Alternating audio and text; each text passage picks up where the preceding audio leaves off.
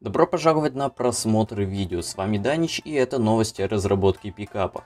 Jado Games продолжает радовать нас новыми скриншотами. На этот раз нам показали абсолютно новый дом, он был полностью переделан. По словам разработчиков в нем будет полноценная ванная, зал, кухня и комната игрока. Чисто визуально дом изменился в лучшую сторону. Такая версия дома мне нравится больше. Помимо этого гараж переместился на пару метров в сторону но велика вероятность, что он будет переделан.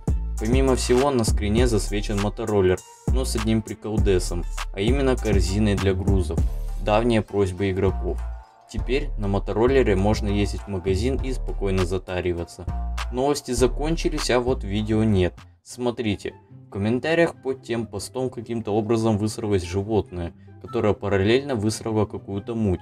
Посмейтесь. И да, Интересный факт, эти 11 лайков поставили его братья по вольеру в зоопарке. А на данном моменте закончилось и видео, поэтому встретимся мы с вами уже в следующем видео или на стриме.